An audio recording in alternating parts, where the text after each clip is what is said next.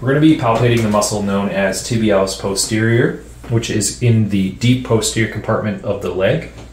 So we're going to be palpating through gastrocs and soleus, and for that reason, I'm going to be trying to shorten up that muscle a little bit. So I'm going to be placing my knee up on the table here. We are going to first try to identify where the head of the fibula and that proximal shaft and where soleus is in the soleal line. The reason for that is if soleus is approximately attaching here, then tibialis posterior is going to be deep to soleus, just a little bit more distal. So I'm going to be sinking in and I'm trying to do this nice and gently. However, you're going to feel a lot of thick kind of tissue. It gets very dense, I should say, versus if you're more on the medial aspect, you're going to be able to sink a lot easier. But when you're on the lateral aspect, you're going to have more layers. So the first muscle is gastrocs, then soleus, and then underneath that, originating on the proximal posterior surface of the tibia, interosseous membrane, and fibula is going to be the muscle tibialis posterior. Now, because gastrocs and soleus and tib post all do plantar flexion, we don't want to use plantar flexion to help us find this muscle. So instead, I'm going to be trying to isolate it using just inversion.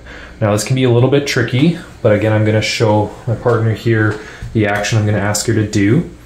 And she's going to go ahead and do it on her own. Great. But what you don't want is any plantar flexion because that's going to kind of mask it with soleus. So again, let's try just like that while I sink in. Now, if you watch my fingertips, I'm actually getting lifted up and down and up and down and up and down. So that's a good job just trying to do inversion and I'm going to follow this muscle down the posterior leg. So it does have quite a long muscle belly that travels inferiorly underneath, as I said, gastroc and soleus with the other two deep posterior muscles it's going to go behind the medial malleolus. So I'm going to roll the leg a little bit.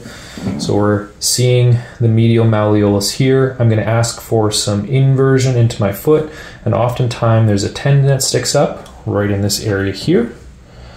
And then it's going to start to insert. Now, some people kind of have a joking way of remembering it that it inserts on every bone of the foot other than talus. However, I'm actually going to try to palpate each bone individually. So I'm just going to change the position of the foot so we can kind of look down on it.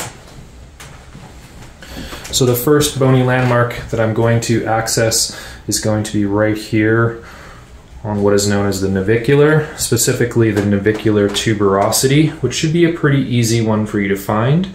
If they do some inversion again, to start to pull your foot in for me, I'm going to resist. Great. The tendon goes right into the navicular tuberosity, and from here it's going to splay out across the bottom of the foot. Now to make sure that you're not tickling your person, I'm going to use more of a firm palpation with this. So I'm going to move back onto the calcaneus, like so, one attachment being of the calcaneus. From the navicular, I'm going to move lateral across the plantar aspect till we get towards cuboid. In this area, it's going to attach to all three cuneiforms, so medial, intermediate, and lateral cuneiform. Another way to kind of look at that is you should be in line with toes one, two, and three for those three cuneiforms. And then lastly, I'm going to use my fingers on the dorsum of my thumb on the plantar aspect. I'm feeling for the base of metatarsal 2, the base of metatarsal 3, and the base of metatarsal 4. So all of that being the insertion of tibialis posterior, which is going to be really tricky to feel each one of those bones through this plantar aspect, but do your best to try and sink in and showcase all of those insertions. Because of that, this is definitely going to be a very strong inverter as it pulls all of these kind of bones together, bringing the foot into inversion.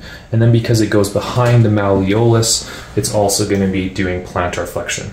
So inversion at our subtalar joint and plantar flexion of the foot at the ankle complex. And that's going to conclude our palpation of tibialis posterior.